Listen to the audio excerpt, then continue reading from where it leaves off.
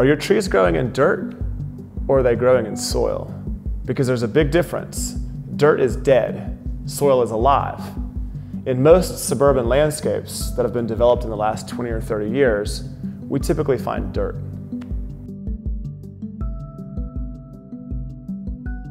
I'm Basil, I'm a Treecologist here at Leaf and Limb. Today I'm talking about why you should avoid using fertilizers, why herbicides are dangerous, and how you can create healthy soil. In reality, using fertilizers creates short-term gains for long-term problems. I'll give you three quick examples.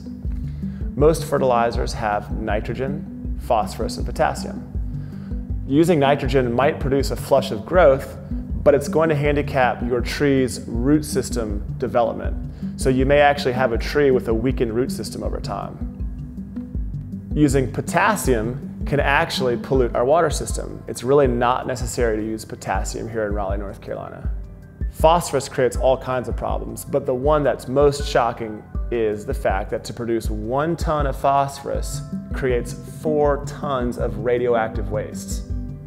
Tree needs a natural, healthy soil ecosystem in which to truly get the nutrients that it needs on an ongoing basis. You can't just put stuff in the soil and expect the tree to use it the way it should be using it.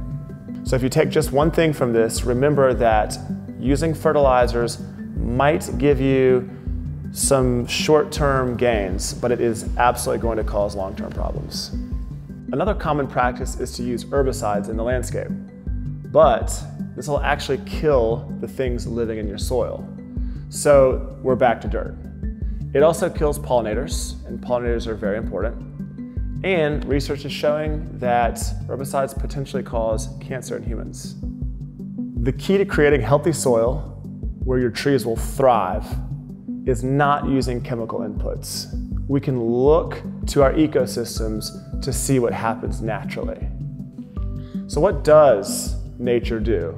Well, it rots and decays leaves, sticks, trunks, plants, you name it, these things become part of soil. What does that actually mean? Well, the organic matter feeds down into the bottom level of the food pyramid in the soil, and that provides food for bacteria and fungi, and they provide food for springtail protozoa, and they provide food for nematodes, and so on and so forth. It's a functioning food web that lives in the soil, and the bottom of that is organic matter.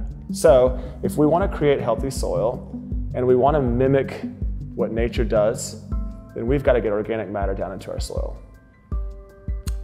So ways you can do this. Leave your leaves, let them decay. We've got a whole video on this topic that you should check out.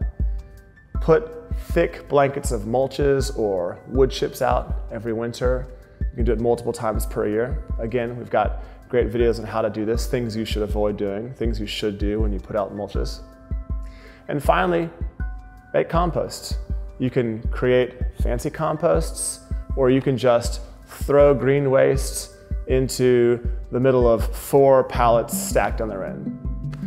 At the end of the day, creating healthy soil takes time. It's not a quick process. There's very little instant gratification, but it's really important if you want to have healthy plants that live a long, happy life.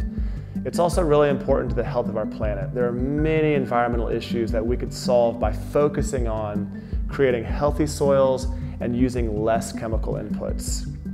I hope this segment has piqued your interest. I'd love to point you in the direction of books to read or articles to check out. Just shoot me a note. I'm happy to do so. Thanks.